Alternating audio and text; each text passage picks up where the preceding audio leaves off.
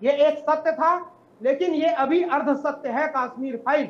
इसके बाद जो एक्शन है उस पर भी फ़ाइल बननी चाहिए सरकारों का एक्शन होना चाहिए ताकि ये फ़ाइल कंप्लीट हो सके। अब त्यागी इसका जवाब नहीं है इनके पास। मिश्रा जी।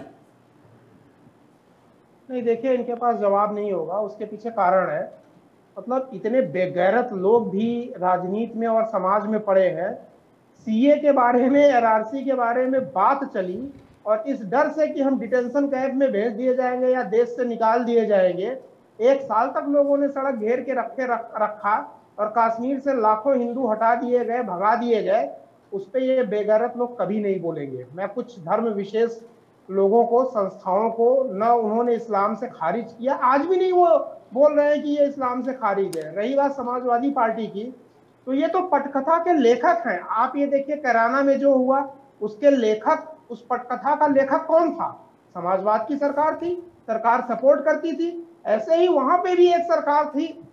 या एक कुछ ऐसे लोग थे जिन्होंने सिस्टम को जकड़ लिया था कि उन्होंने पूरी की पूरी पटकथा लिख दी फ़िल्म तो अभी बनी हुई है। इतने बेगैरत लोग यहाँ पे हैं कि कौन बोले कि नेक्स्ट स्टेप क्या होना चाहिए? धर्म कोई भी हो, चाहे हिंदू हो, चाहे मुसलमान हो, चाहे सरकार हो, चाहे जो भी हो। बोल मतलब क्रिटिसाइज करने के लिए भी मैं तो ये सोच रहा था, ये लोग एक कदम आगे बढ़ेंगे, बोलेंगे, भाई फ़िल्म देखी, अब कानूनी प्रक्रिया शुरू होनी चाहिए, देर से ही सही, लेकिन अंधेर नहीं होना चाहिए, लोगों को न्याय मिले। जो लोग इसमें शामिल हैं एक एक आदमी को चुन चुन करके एक एक आदमी को चुन चुन कर, करके, और चाहे हिंदू हो, मुसलमान हो, बीजेपी हो, कांग्रेस हो, देश के साथ अगर आपको न्याय करना है, संविधान के साथ न्याय करना है, लोकतंत्र और मानवता के साथ न्याय करना है तो आप सब लोग मिलकर के ये बोलिए कि अब आगे का एक्शन कल से शुरू हो। ठीक है जिसकी सरकार है वो पकड़ेगी वो कानूनी प्रक्रिया शुरू करेगी सारी चीज़ें करेगी। लेकिन टीवी के चैनल पे भी आकर के इस तरह की मांग करना कि ये फ़ाइल बनाओ तब वो फ़ाइल वैलिड होगी।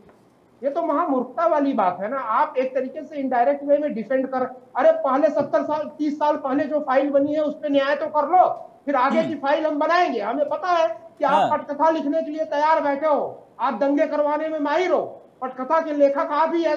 जितने दंगे होते हैं उसके पटकथा के लेखक यही लोग हैं। फिर उसमें भी फ़ाइल बनेगी ना चिंता क्यों कर रहे हैं?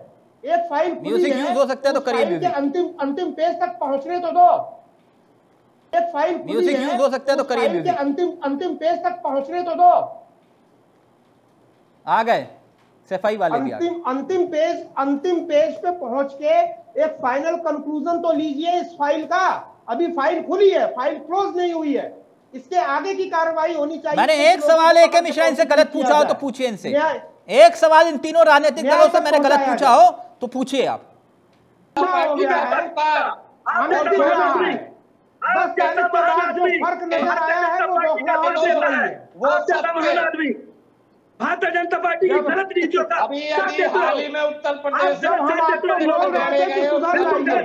आप चोला उतार दीजिए। पत्रकारिता का चोला उतार दीजिए। और बैठ जाइए भाजपा की झोली में जाके और गोदी में जाके बैठ जाइए। दस तारीख के पहले जब समझा रहे थे साथ तब देते समझ में लोग। नहीं आ रहा था। और अब शर्म नहीं आती। चक्षु खुल आप हमेशा। बीजेपी का साथ देते। आपने आपने चाहिए। किया। आपको समझा रहे थे कि सुधार बताइए आपने सुधार क्यों नहीं किया? आपकी जवान कहाँ चली गई थी? अब सांप कांड मर जाने पे लकीर मत कीजिए। दस तारीख के पहले दस तारीख के पहले याद है आप कैसे डिबेट करते थे।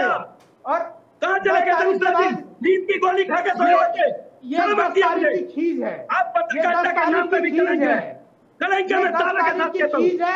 आपसे बढ़िया डायरेक्टर कोई नहीं मिलेगा।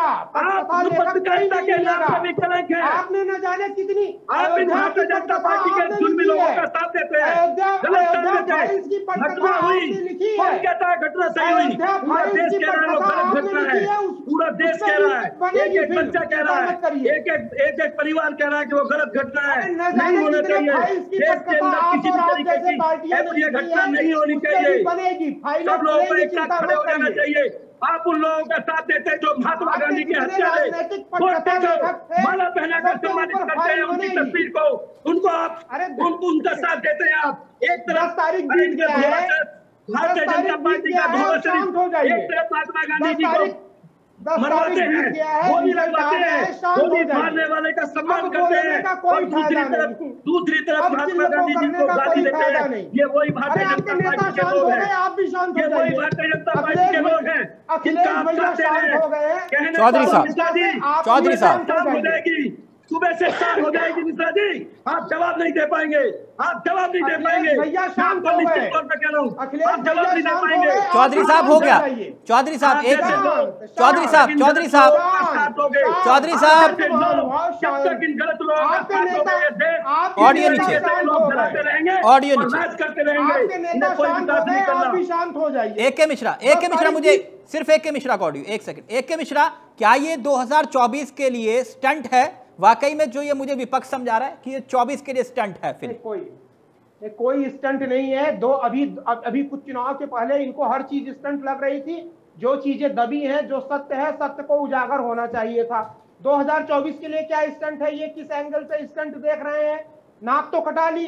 10 तारीख के पहले आपके साथ ही हम इन लोगों को बोलते थे भैया ये ये सुधार कर लो। तो ये तो मतवाले हाथी बने हुए थे। तो इनके लिए स्टंट की ज़रूरत नहीं है। जो मरा हुआ है ना उसके लिए अब कोई स्टंट स्टंट दिखाने की ज़रूरत नहीं है। ये एक सत्य था लेकिन ये अभी अर्ध सत्य है कश्मीर फ़ाइल। इसके बाद जो एक्शन है उस पर भी फ़ाइल बननी चाहिए सरकारों का एक्शन होना चाहिए ताकि ये फ़ाइल कंप्लीट हो सके। अब अब त्यागी ये एक सत्य था लेकिन ये अभी अर्ध सत्य है कश्मीर फ़ाइल। इसके बाद जो एक्शन है उस पर भी फ़ाइल बननी चाहिए सरकारों का एक्शन होना चाहिए ताकि ये फ़ाइल कंप्लीट हो सके। अब त्यागी